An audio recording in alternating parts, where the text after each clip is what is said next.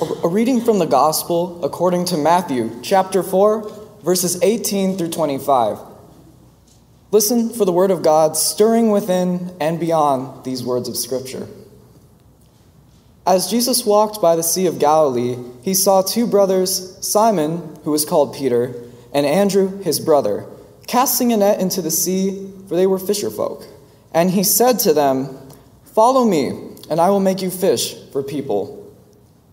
At once they abandoned their nets and followed him. As Jesus went from there, he saw two other brothers, James, son of Zebedee, and his brother John, in the boat with their father Zebedee, mending their nets, and he called them. At once they abandoned the boat and their father and followed him. Jesus went throughout Galilee, teaching in their synagogues and proclaiming the good news of the reign of God curing every disease and every malady among the people.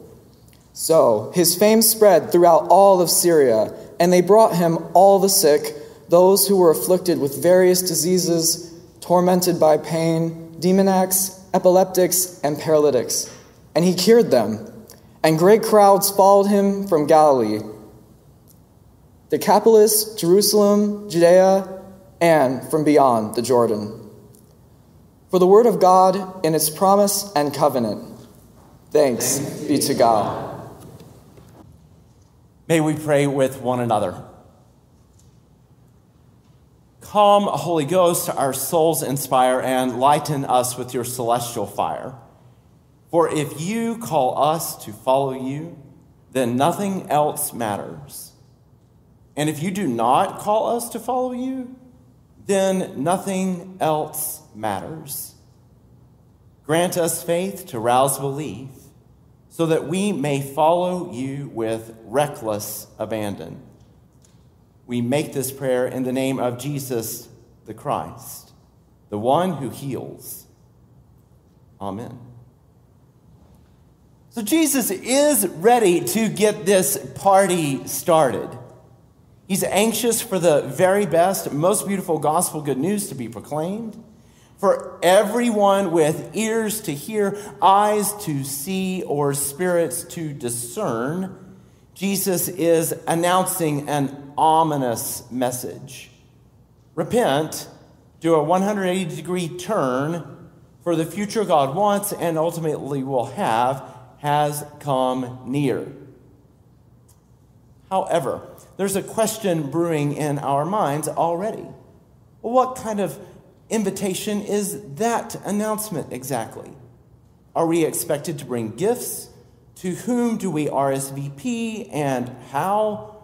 And finally, what are we turning away from and what or whom are we turning toward? To this point, Jesus has not done much publicly no healings, no teachings. And yet, Jesus has already realized he cannot do this work by himself. Maybe Jesus knows his limits and that he can only do so much. Son of God, though he may be, Jesus is still son of woman, human. So let's think about it. What happens if Jesus burns out? What if Jesus gets killed? Who will carry on the message and continue the work? If Jesus is the only one at God's party, if he's the only one that can hear the beat of the music and dance to the slick rhythms of God's grace, well, then what fun would that be? The more people, the bigger the crowd, the more recklessly inclusive the invitation, the more followers he has, the grander the party will be. So Jesus needs followers, disciples of Christ. People who will listen to the music of the spheres and abandon almost everything to follow him and do what he does. Announce that the future God wants and ultimately will have is here and now, even as it is still on its way. For those yearning for a better way of life, I'm sure Jesus' announcement seemed liberating. Whereas for those who profited over things never changing, the status quo remaining in place, Jesus and the party to which he was inviting everyone seemed threatening. And of course, there are those who are neither hot nor cold, but lukewarm and would rather ride the fence for as long as possible, mending their old, worn out nets, lest they take the risk, choose a side which could offend someone. God's good future is just getting started through Jesus, whom we would call the life of the party. And of course, you and I know the rest of the story. We know what's going to happen. But if we want to hear this gospel for the scandal that it is, if we want to see Jesus, if we want to discern the movement of God that is taking shape through Jesus, then we must abandon almost everything. Everything we think we know. And after we've abandoned that, we will be found by the one who calls us by name and invites us to follow and join in the party that is breaking through the world. When preparing for the worship, uh, when preparing the worship guide today, I googled different art for the cover and found "Calling Disciples" by the Chinese artist He Qi. I may have squealed with delight in my office because this painting perfectly captures this text. Jesus calls brothers Simon Peter and Andrew, and then calls brothers from another mother, James and John, who were sons of Zebedee. Matthew must think Zebedee is important, for he's referred to three times. James, son of Zebedee, and his brother John, in the boat with their father Zebedee, mending their nets, and Jesus called them. At once they abandoned the boat and left their father and followed Jesus. So take a look at this artwork. Zebedee is still in the boat, net in hand. What do you think is on his mind? Is Zebedee waving to his sons as, as if to say, Good luck, sons, go with God, I wish y'all the best? Or is the father saying, You have two seconds to get back in this boat and help me mend these nets, or you can kiss your supper goodbye? In my sanctified imagination, I hear Zebedee calling out to his son, saying, Honor your parents so that your days may be long in the land the Lord is giving you. Exodus 20 12. After all, producing children was, among other things, an insurance policy, a retirement plan for parents in their old age. Yet these two new disciples recklessly abandon their nets, their boat, their profession, and their father in an act that challenges sacrosanct family values. And what of the son in the artwork who is waving back to his father in the boat? How do we interpret his gesture? Yes, the call of Jesus is a certain um, lure, pun intended. And yet, our familiar patterns, customs, parents, and families of origin still have their hooks deeply set. I don't know that we can ever completely, totally, recklessly abandon these holds. Matthew tells us that Jesus called them, and we interpret that as Jesus having called the brothers. However, it is just as possible that Jesus called all three of them brothers James and John, and Father Zebedee. The sons respond in favor. The father, however, remains in the boat. Maybe you can't teach an old dog new tricks. Or, as Jesus would later say in this gospel, you cannot pour new wine into old wineskins. For Zebedee, I wonder if it was more comfortable to go with the ways he knew, sit in a boat, and weave, weave together a dilapidated net for the hundredth time, then abandon almost everything, take a chance on newness, hear new music, and join in a party that's just gathering steam. We get Zebedee's dilemma, don't we? We are creatures of habit, and by God, we love us some sameness. Old hymns, familiar interpretations of sacred stories that leave our unquestioned beliefs intact, structures, denominations, personnel, budgets, outreach, institutions now, if you think for one second that I am triangulating with the Holy Spirit to harp on you, church, let me say that I have my sacred cows too, and don't you dare touch them. Don't come for them. But here's an example I love the alternative. And yet, when I think about changing it or doing something different with it, my blood pressure rises, my pulse accelerates, and then finally my conscience interrogates me and says, Well, then, Nathan, why did you call it the alternative if you are inflexible? The shoe fits. So, hear me say this tension that we feel is not an old versus young dichotomy. Even the Reverend Dr. Katie Hays, lead evangelist for Galileo Church, says that her congregation, which is still in its infancy in ecclesial years, loves its routines. Come in and suggest change, she says, and we may not hurt you, but we may look at you in such a way that you might think we would hurt you.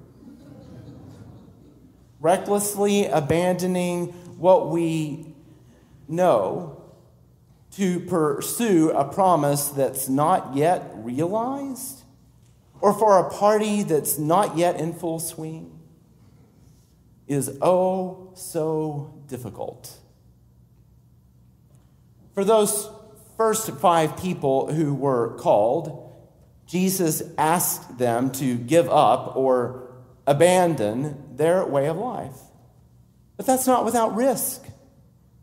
Jesus' call of the disciples occurs amid the empire, the Roman Empire's close control of fishing, whereby licensing, quotas, and taxation secure Rome's sovereignty over the water and its contents. Their identity as fisherfolk meant they were involved and participatory in the imperial economic and political monopoly. Fish were claimed as revenue for the empire.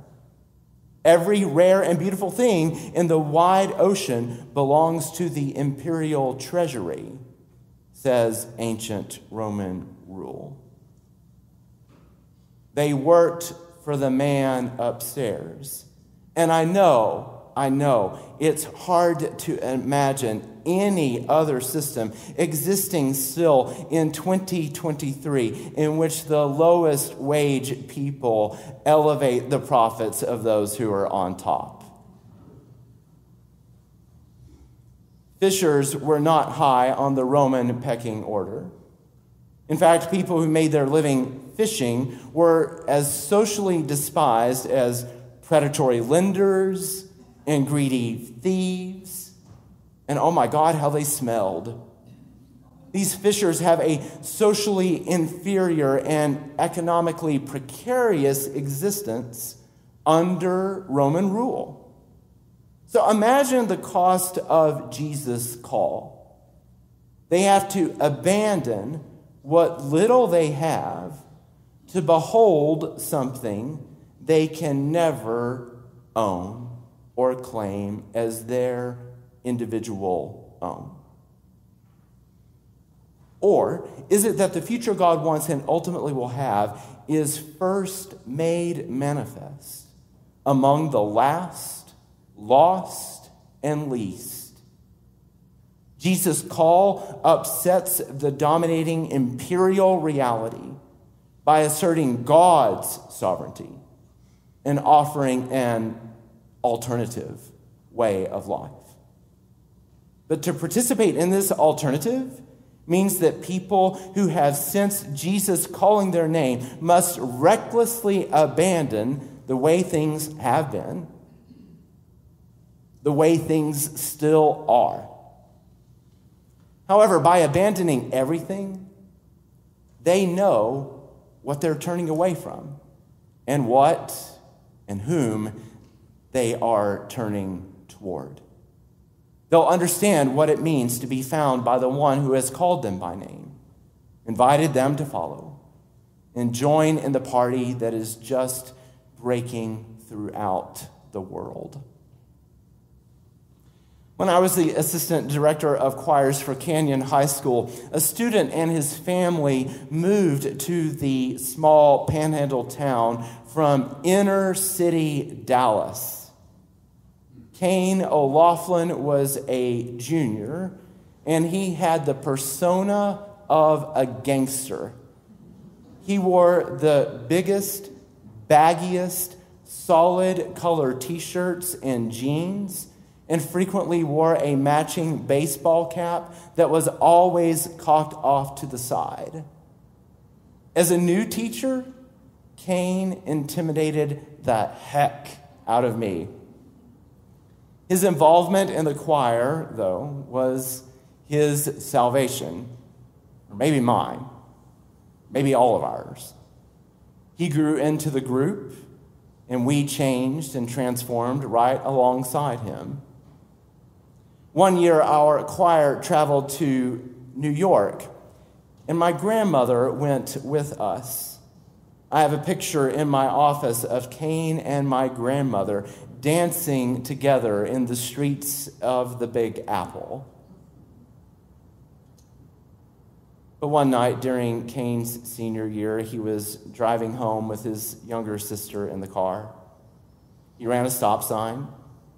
The collision with the other car was almost immediate, and he and his sister died. One of the ways we coped through the next year was to tell stories. Kane had many anecdotal quips, most of which I cannot repeat from this pulpit, which is, if you know my threshold, saying something. However, his favorite phrase was this sing with reckless abandon. When I left Canyon and started teaching at Tyler Junior College, my mom painted the phrase, sing with reckless abandon, on my office wall, along with Kane's name. Everyone got to hear the story of that quote. According to Kane, we were to sing as if our life depended on it, to sing without being self conscious, to sing because we're happy, to sing because we're free, to sing with reckless abandon. Kane and his phrase caused me to love the word abandon. It sounds boundless, open, liberating, Throughout seminary, I saw this word amidst the deep dives into Scripture. In the NRSV translation, we read that immediately Peter and John left their nets and followed Jesus. And immediately James and John left the boat and their father and followed him. However, the word in the Greek is abandon, which seems much more sudden and dramatic, as if they threw up their hands and said, We're done with this, we quit. When Jesus teaches the longest lesson ever, the Sermon on the Mount, Jesus instructs the disciples on how to pray. there's this line, which we've already said this morning Forgive us our debts as we forgive our debtors. But the verb in Greek is abandon. When we pray the Lord's Prayer, we're asking God to abandon our sin from us with the same expediency as the first disciples abandoned their nets. But oh, if it were really that easy to abandon our nets. Old habits die hard, don't they? In fact, in John's gospel, between the crucifixion and resurrection of Jesus, Peter and Andrew and the sons of Zebedee go fishing again. It's, it's, as, it's as if they said, Well, we had a good run. Back to the boats and nets. The lure of the familiar never really goes away. It's always there, standing at the stern of the boat, net in hand, waving, calling us to come back to what once was. In telling this story, Matthew says that the first four followers abandoned their nets. But the tense of that verb didn't mean that they abandoned their nets once and for all, or once and done. The verb has the same aorist tense that we talked about last week with the word fulfill. The disciples long ago, just like you and I, must keep leaving our nets, the webs that entrap us and hold us captive, if we are to follow Jesus with reckless abandon. But by abandoning everything, we know what we're turning away from and what and whom we are turning toward. We'll understand what it means to be found by this one who has called us by name, invited us to follow, and join in the party that is breaking throughout the world. This is what the party looks like, Matthew says. Jesus went throughout Galilee, teaching in their synagogues and proclaiming the good news of the reign of God, curing every disease and disease, every malady among the people. So much so that Jesus' fame spread throughout all Syria. And everyone brought to him people who were sick those who were afflicted with various diseases and disease, tormented by things we can only begin to imagine. But that's what it looks like when the party gets started. And the call of Jesus Christ to join in that party is so persuasive and so compelling that we cannot help, but follow with reckless abandon.